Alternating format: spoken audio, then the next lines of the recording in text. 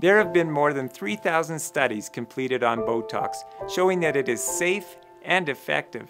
The cosmetic procedure has been used for over 20 years and in more than 15 million procedures. The cosmetic dose is a fraction of the quantity that is safely used to treat cerebral palsy in children.